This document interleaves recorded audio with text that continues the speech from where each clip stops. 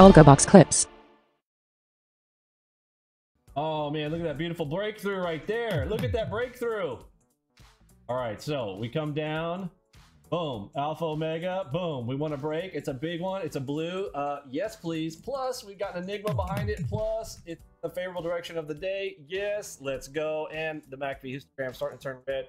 Up top, we are yes, matter at buy. Only thing going against you is right here. But what did we have? Did we have high time frame that could be turning?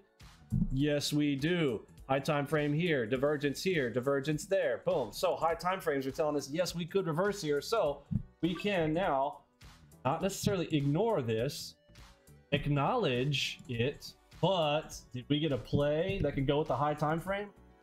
Oh yeah. Yeah, we did. Plus it's the Enigma. I mean.